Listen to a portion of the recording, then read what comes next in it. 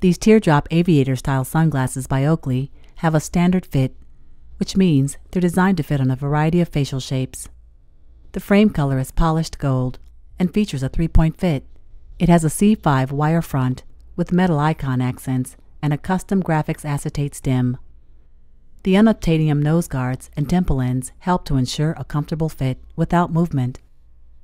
The tungsten iridium colored lenses are constructed of plutonite, which is an optically pure and durable material that's impact resistant and filters out 100% of UVA, UVB, UVC, and harmful blue light up to 400 nanometers.